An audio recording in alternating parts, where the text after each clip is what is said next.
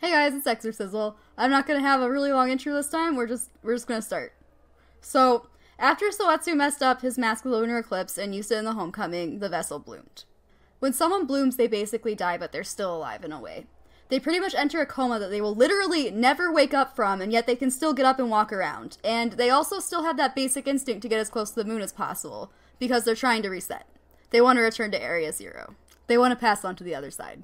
In terms of lunar melody, when someone blooms, their own personal melody becomes so distorted from what it once was that it ends up breaking, or I'm assuming becoming something entirely different from what it once was. This is a little bit off topic, but in the final boss fight with Sakuya, a really distorted bagpipe version of the Tsukimori song is playing, and I wonder if this is actually the culmination of all the lunar melodies that have broken all across the island. If you pay close attention to it, you can actually hear many different sound layers, as you can with most music, but if it is all the souls yelling at once, that's pretty fucking neat, in my opinion. Anyway, in summary, when a person blooms, they are technically still alive but permanently unconscious. Their lunar melody is so messed up that it's not even their melody anymore, so the people basically lose their souls because they can't remember who they are at all. From my understanding, the souls detach from the blooming bodies and become ghosts, and the bodies those souls once belonged to just wander around blooming and separating more souls. I'm not sure if that makes sense or not, let me know if it doesn't, and I will try again. After the maiden that wore Soetsu's mask bloomed, she wandered around the island causing more and more people to bloom, but thankfully, not everybody. I really want to know how they stopped her though, because the game never really says how to stop a blooming person. It's just like, eh, put a mask on it and play the piano? Maybe that's it though. Maybe she instinctively made her way up to the Tsukuyomi lighthouse to be closer to the moon, just like Sakuya does at the end of the game. And one of the Tsukimori shrine maidens played the piano to make her feel better. And ta-da! Everyone who bloomed stopped and passed on to the other side. Or Area Zero. Anyway, Soetsu was neither seen nor heard again, ever, and as I said in my last video, the islanders burned everything relating to him that they could find. The homecoming was banned and was pretty taboo until two generations later when one of Soetsu's descendants, Sogen, made a tourist version of it called the Kagura. The Kagura is almost the exact same thing as the homecoming. The preparations are the exact same and the way it's done is the exact same. I'm almost 100% sure that what makes them different is the mask of the lunar eclipse. The Kagura doesn't have one, probably because Soetsu's mask was extremely taboo, even after the Kagura made the homecoming a little less scary to think about. The kimono the vessel wears could also be a key difference, but it's never confirmed in game, so it could also just be a personal choice. As you could probably imagine, not sending the souls off to the other side and clearing out the lunar noise from all the dead people for over a hundred years kinda sent the island into a really bad downward spiral. Getsuyu syndrome, the disease that comes from not being able to hear your own lunar melody when there are too many dead souls on the island, became so common that Rogetsu Hall, a huge, huge building, was built on top of an old inn just to house all the new patients. Rogetsu Hall and Haibara Hospital were both owned by the Haibara family, who I guess you could say were a very troubled bunch. Prior to the first day without suffering, they were a group of priests that helped out with various rituals, but after Soetsu screwed up, they decided to open up the hospital and then Rogetsu Hall to start trying to cure Getsuyu syndrome with medicine rather than rituals. Sadly, this medicine was not always the most pleasant medicine, or even the most effective. Shigeto Haibara, the head of the family and his staff, would literally drill into various parts of the brains of patients and often killed them in the process, all in the name of finding a cure they would never actually find. We don't know anything about Shigeto's ancestors, unfortunately, but we do know that his wife contracted Getsuyu syndrome and could not deal with the guilt that came from her violent outbursts towards her loved ones, so she threw herself off the roof of Haibara Hospital. We don't know when this happened, though. Shigeto had two children with his wife, Sakuya and Yo. We don't really know a lot about how Sakuya was before contracting Getsuyu, but based on how she acted during cutscenes where she wasn't flipping the heck out and how Yo describes her, she was a very calm and soothing person to be around. She had a healing spirit. And she was also a medium, just like her mom, which unfortunately made her a thousand times more susceptible to Getsuyu syndrome and possibly made her disease progress a lot faster than most people.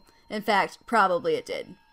Something that really, really bothers me about Sakuya is that we don't get the year she was born in, yet we get her brother and their creepy incest baby's birth year. Also, apparently Yo impregnated Sakuya, his older sister, when he was only 13 years old. Yo was born in 1945 and Ayako was born in 1958. What the heck? Ayako isn't super important to this part of the story, but I will talk about her soon, I promise. Anyway, when Yo got a little bit older, he decided to follow in his dad's footsteps and became a doctor. He went to the mainland to open up his own clinic and experiment on people, presumably with the hopes of finding a cure for Getsuyu syndrome, but maybe not. He seems like he's probably a pretty messed up guy. He might have just wanted to torture some people. I, I'm not sure.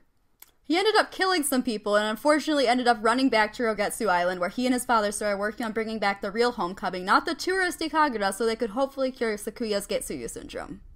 The Tsukimori song was another part of the homecoming that got almost completely erased over time, so Yo's first task was to find the musical sheets containing it. He found some sheets and tried to adapt them into a contemporary style, which was probably a very, very bad idea. Whatever song he created, it was not the Tsukimori song, and when he would play it for patients for music therapy, it would make them even worse. It actually confused them even more because it added to the noise, preventing them from hearing their own lunar melody. It literally took away people's souls rather than giving them back like the Tsukimori song was supposed to do. First mistake. Yo's second task was to pick the five accompanists for the ritual. It's unknown exactly how he did this, but at least three of the five girls he chose appear to come from spiritual families. Misaki is a descendant of Dr. Aso, the inventor of the camera obscura, and Ruka and Madoka are part of the Tsukimori family, although it's unknown exactly how Ruka and Madoka are related. We still don't know why he chose Marie and Tomoe. Ruka, Madoka, and Misaki, and probably Marie and Tomoe too, all had Getsuyu syndrome at this point, so their lunar melodies were pretty weak. If you watched my last video, you know that accompanists are actually supposed to have an even stronger lunar melody than most people, so y'all really screwed the pooch here too. Second mistake.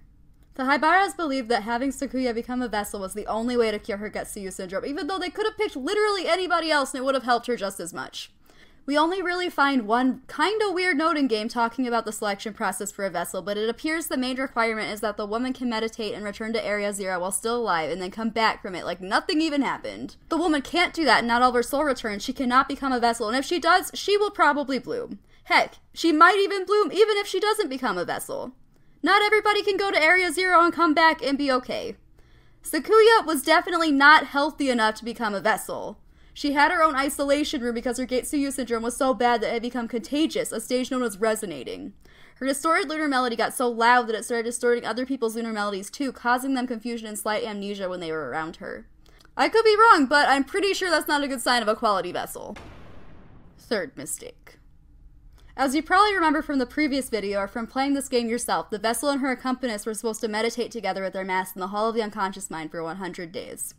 Either to not draw suspicion of the six women going into the mysterious ritual room every day, or because of time constraints, Sakuya and her accompanist did not meditate at all. Fourth and final mistake. Probably. Let me know if you can think of anything else. I really don't know how they thought all of this would be okay, but they were really, really desperate. The chance of performing a homecoming only came once a decade, and Getsuyu syndrome was only getting worse and worse by the year. Once again, it had been around 125 years since they had cleared the lunar noise. They probably weren't even sure if there would be an island in another 10 years if they didn't perform the ritual.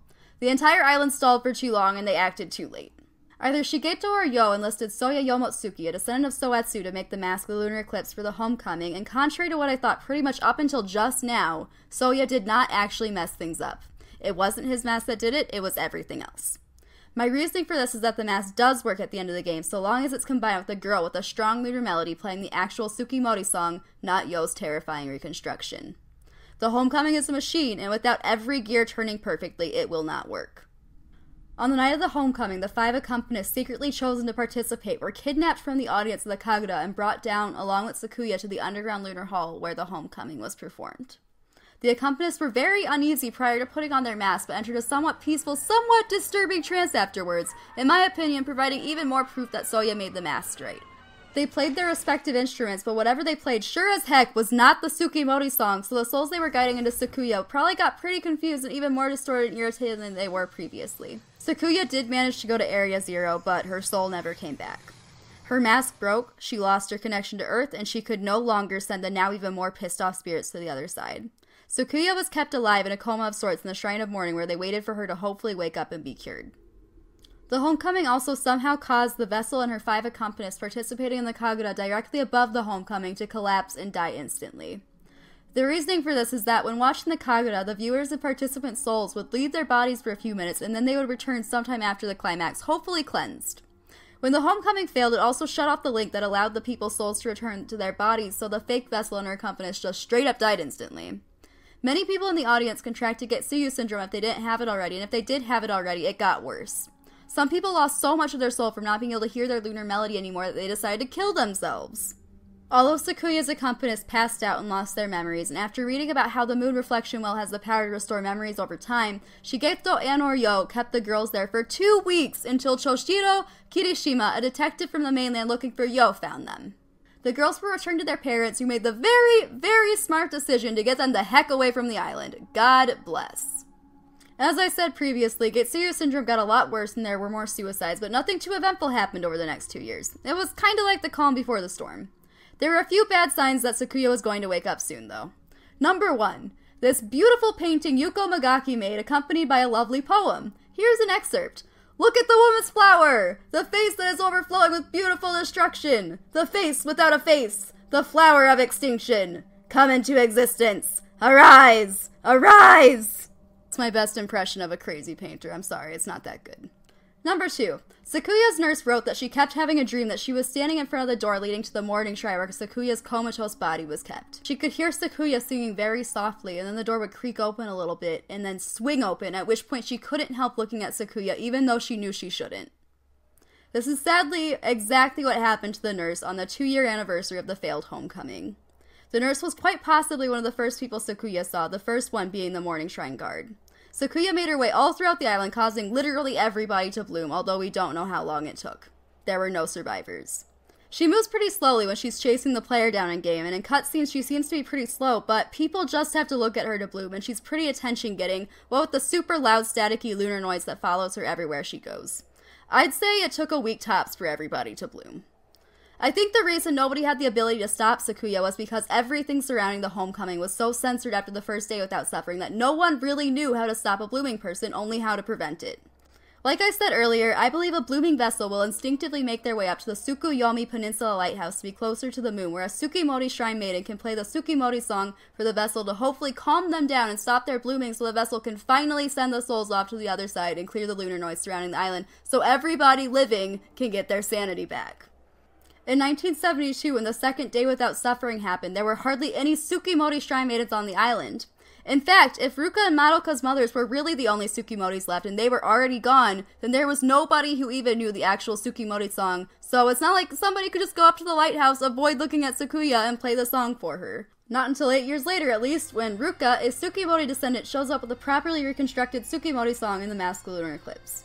She tries to exorcise Sakuya's spirit with the camera, but either because the camera is too weak, because in my opinion it's the first camera obscura prototype, or because Sakuya is somehow the easiest to fight boss with the most resistance to being exorcised, it still doesn't really work without the mask and the song. Sakuya disappears for a little bit, kinda asking you very, very politely to play the song, but if you mess it up, she will come back and will play very aggressive Queen of the Lighthouse with you one more time. Play the song correctly though, and it still isn't enough. Sakuya continues blooming until Choshiro shows up, grabs the mask from Ruka, and puts it on Sakuya, finally allowing the doorway to the other side to open up. The mask was fine all along, it just needed the right preparations for it to do its job. All of the spirits of the islanders, as well the lunar noise surrounding the island clears up, presumably making it inhabitable again, but I don't think anyone would really want to live here, and if they did, they'd probably be screwed because once again, the only remaining Tsukimori Shrine Maiden left. Unless Ruka left detailed notes on how to fix things in case the lunar noise does start becoming a problem again, after a few hundred years, maybe even less, Getsuyu syndrome will probably be just as bad as it was before everyone bloomed and died, and nobody would have any idea what to do. Everyone would be screwed again. And that's where I'm going to leave things today. If there is anything that I missed in this video and you'd like me to go over it in the next part of these Fatal Frame 4 explanation videos, then let me know. I plan on there being one more part where I go over everything I didn't quite get to in these past two parts, such as interesting Hmm. Such as interesting plot elements in the various ghosts, so subscribe if you do not want to miss it. Thank you for watching, have a great night, and remember, You'll be severed.